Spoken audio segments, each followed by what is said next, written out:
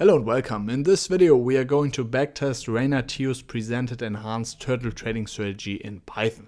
I really appreciate Rayner exactly defining the trading strategy parameters, so we can use that, code a backtest based on the provided logic and then test that on multiple assets. So no matter what the results will be, these videos are not meant to prove someone wrong. Additionally, this video is just for educational and informational purposes only, so keep that in mind. Let's take a look at the trading strategy itself. Pretty straightforward. We are buying when the price breaks above the 200 day high.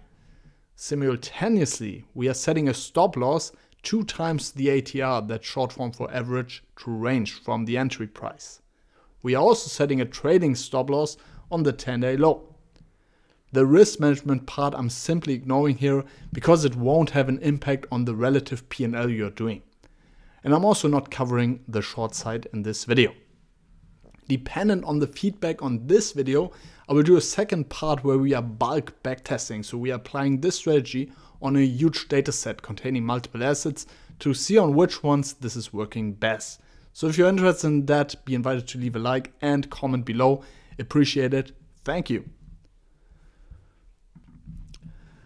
Alright, let's get started. We need some libraries. Y Finance to pull asset prices, pandas for data handling, and TA to calculate technical indicators conveniently. In this case, we only need one technical indicator, which is the ATR. The rest we are calculating ourselves.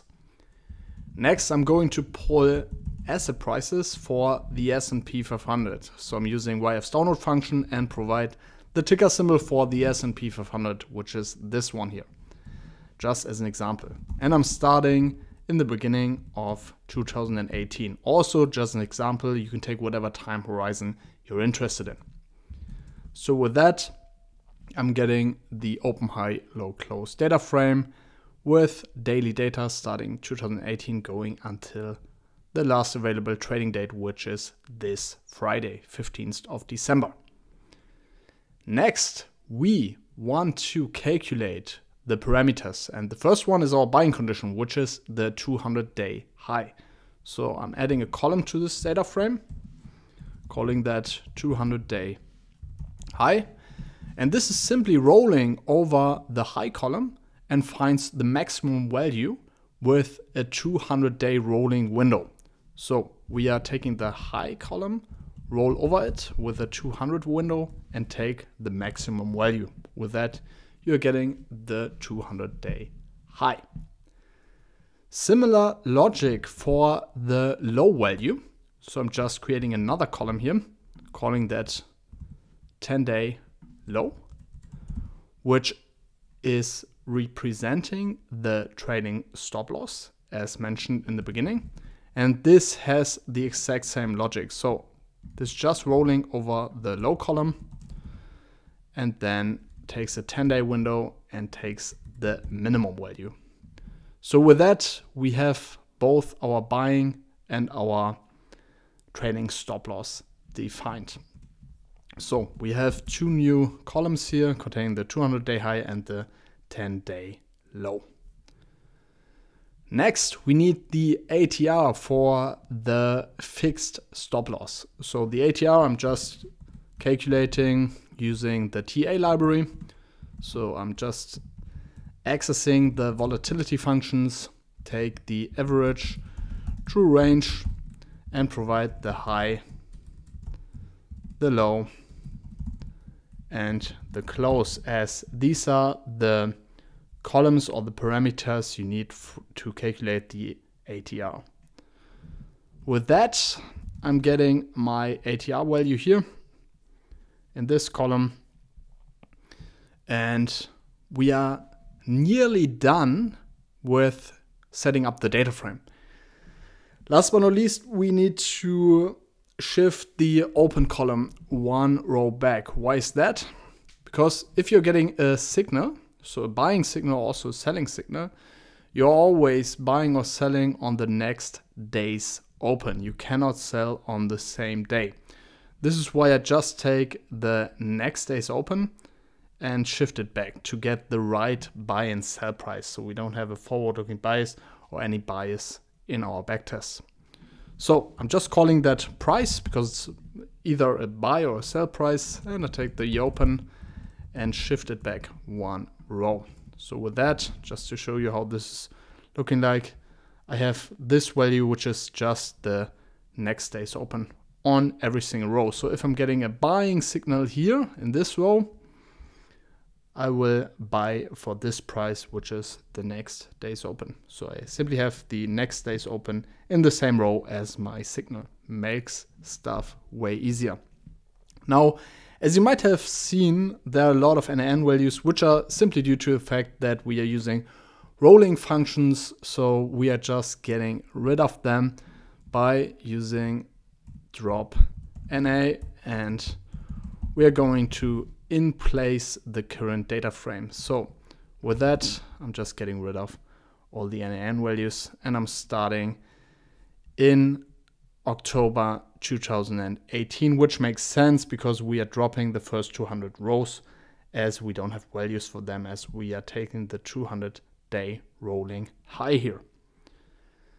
With that data frame, I can construct my backtest and the backtesting logic will be straightforward. So I'm just looping over this data frame, check for my buying condition, then I'm storing the buy price, also store the stop loss, which is the buy price minus the ATR value times two.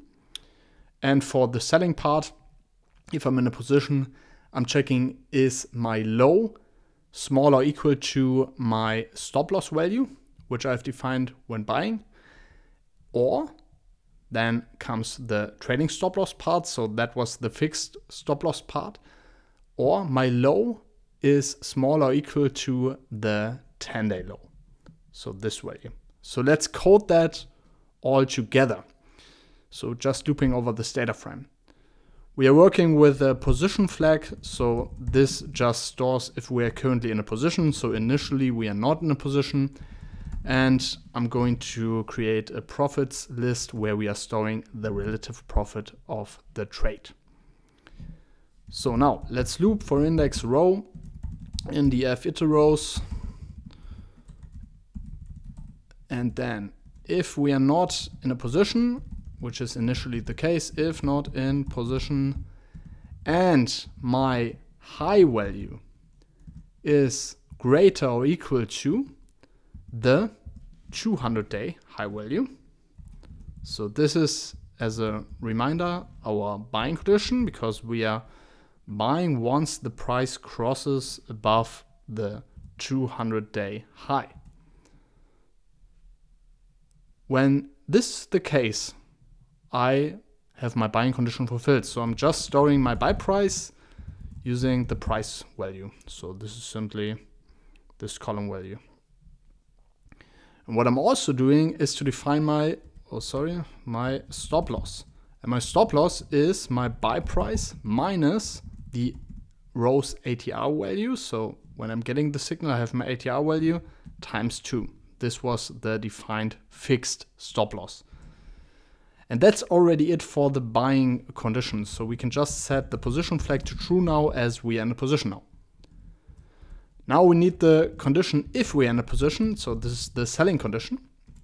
And my selling condition is either my row low is smaller or equal to my stop loss, which is being defined when I'm buying, or my low value is smaller or equal to my 10 day low. This is the trailing stop loss. And then I have my sell price, same story as before. So simply my price value. And then I can calculate my profit. And my profit is simply my sell price minus the buy price in relation to the buy price. So then I have my relative profit of the trade, excluding trading fees for now. So my profit is my sell price minus my buy price in relation to my buy price. And then I'm appending that to my profits list here. Profits, append profit. And finally set my position flag to false. And that's already it for the backtest. So let's execute that. And with that, we have the profits of this strategy on the S&P 500 since 2018. So let's take a look at the profits. So we have a list here. What you see on first sight is the very low amount of trades here, right? So to make it easier to work with this, I'm transforming that to a series. So we have it in a in a series here, and then you can uh, accumulate those returns by adding a one and take the cumulative product here. And then you see the development of your trades. So in the end, this strategy, without considering trading fees, made 13%, which is, let's say, uh, quite disappointing considering the S&P 500 development. So if I want to show that in a, in a chart here, you see that the strategy seems to work out, then get some setbacks and ends at 13% profit here. All right. Let us consider another asset type now. So for instance, Rayner was considering the US dollar in relation to the Canadian dollar. So let's do that as well. So we're just taking US dollar CAD equals X. So that is the ticker symbol for US dollar CAD. And we are just executing everything again and finally get the cumulative return for the strategy on US dollar Canadian dollar. So what we are seeing again is a very low amount of trades here. In the end, we would have made 1.6% return. To be fair, it's Forex, so it's usually traded with leverage. But as you see, since 2018, seven trades, that's very, very low. Let's finally check out again another asset type. So we are moving to the commodity sector here. So let's take the Brent that is BZ equals F. So we're executing everything again. And here we're actually getting quite an insane return. But again, as you see, we only have five trades here with some huge returns actually.